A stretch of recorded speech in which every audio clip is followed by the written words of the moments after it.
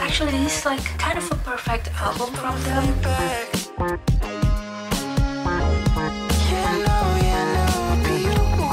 I bought a new vinyl. First, the boring stuff. I bought these plastics thing. I bought a lot of them actually, but I'm just gonna show you one of each. This is the inner sleeve. I don't know the name of the material, but I'm just gonna pop it right here. It's basically, I think, an anti-static plastic. So it will protect your vinyl even better. It won't scratch the vinyl easily. It's anti-static and it's just way better than just put the vinyl in the paper sleeve that it usually came with because paper can potentially scratch your vinyl in the long run so having this plastic is a great investment also bought this outer sleeve for the vinyl so it will protect the cover better the color won't fade easily it's also more dust free it's better quality it's thicker than a regular i don't know it will last a lot longer probably and the vinyl that i bought is riot by paramore this is one of my favorite album from Paramore and I love Paramore. They're like one of my favorite band from when I was in high school. Like I couldn't stop listening to them.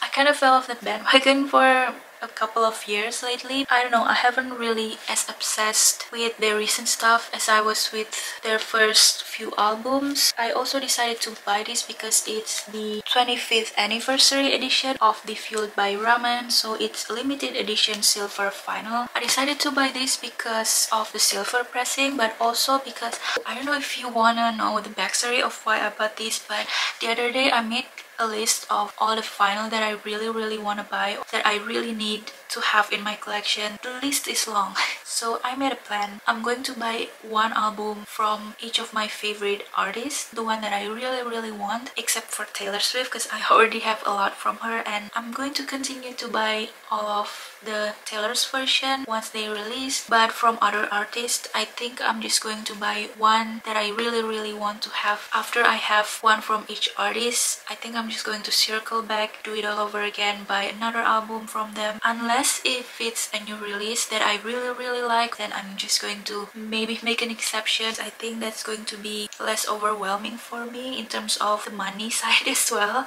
so I decided to buy First from Paramore, Riot. Actually, this is like kind of a perfect album from them. Not a lot of skip. I love a lot of the songs from this. Misery Business, of course. But I think one of my absolute favorite songs from Paramore, hands down, it is Let the Flames Begin, which is in this album. Love When It Rains, That's What You Get, Crush, Crush, Crush, We're Broken, Born for This, Fences basically every single song. Yeah, let's just open this because I haven't opened it yet and I can't wait to see how the silver looks like. I don't know if it's really going to be silver or just gray. I hope it looks silver. But I think I need scissors. I don't know if you're interested in... Maybe I can do this ASMR if I can open it. Why is it so hard?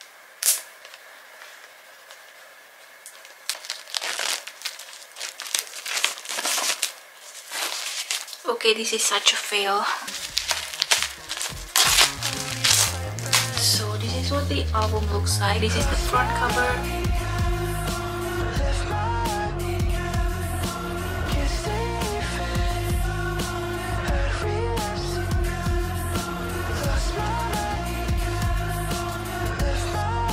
This is the back cover.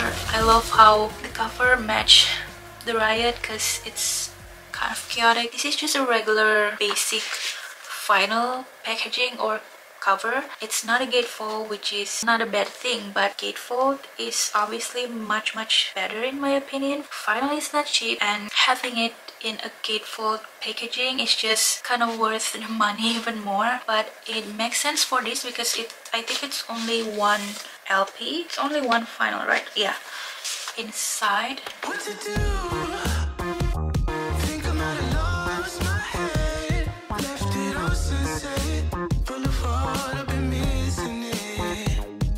is the file itself, just basic white sleeve. We get these pictures of the full Paramore back when it's still four of them. And then the back of it, I think it's the lyrics, which is pretty much kind of looks the same as the cover. It's very messy and chaotic but I like it. There's also credits, thank you notes and all of that. Like, oh my god, look at Hayley.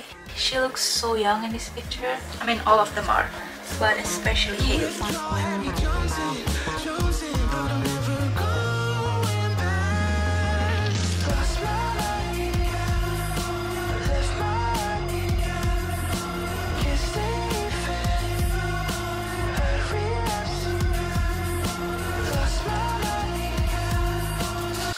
let's see the vinyl and see the is it really silver or not see if it's just in this basic paper sleeve thing it can like really hard to get this out because it's very staticky if that's the word and it's just not fun to do it.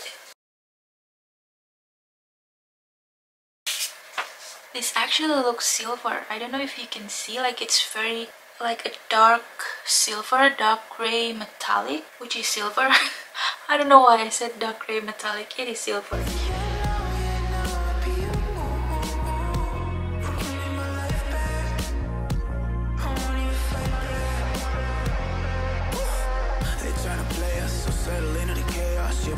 got two faces, now it's a face off, yeah, there's no more to discuss, yeah. I actually really like. Sometimes metallic in vinyl can be a little bit tricky. Sometimes they say it's gold, but it's not actually look gold or as metallic. But this looks pretty metallic to me. So now I'm just going to put this in this, oh shoot, in this inner sleeve.